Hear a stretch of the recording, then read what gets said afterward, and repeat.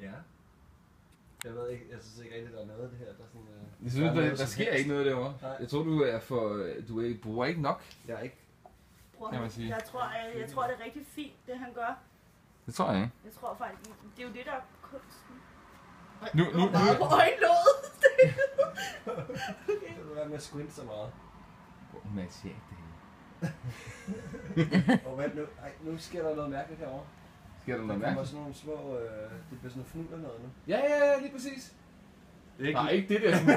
Nej, det er sgu noget mærkeligt noget, det der. Jeg tror, det er, det er dims, du bruger, du måske ikke er så god med det. Eller hvad? Vil du, David, når nu man har, har primet og grundet, ikke? Ja, så begge dele. Tror du så, er det nu, man lægger øjenskygge? Eller ja, det du det var først? Man skulle pensle det væk, ikke? Så du Ja, jeg har brugt den der, for den er god. Ja, lige lukke lige Jeg er klar. Så nu forsvinder det. Det var vildt smart. Det var det, der var hele... Ja.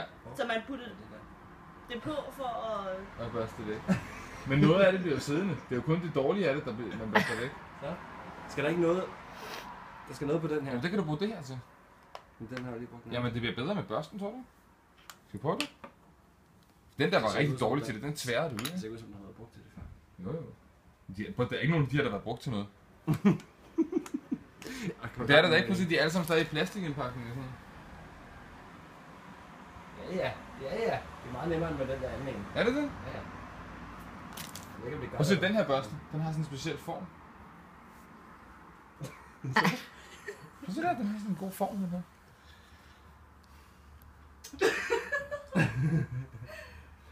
Okay. Nu, øh, hvad kan man så? Sådan Så, der. så skal man... Altså, jeg tænker øjenskygge nu, ikke? Øjenskygge før eyeliner. Jeg Så ellers tænker, så tværer du eyelineren ud. jeg tænker eyeliner før. Det ved jeg ikke.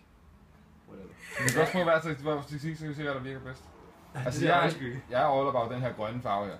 Den her grønne farve, den er jeg helt vild med. Den synes jeg er Jeg er så glad for, at du er dig, der er vild med den, Stefan. Hvorfor en, øh, Jeg tror, der er for meget på her. hvorfor en pensel kan man bruge til det? Den der lille en måske. Prøv nu at se det her, David.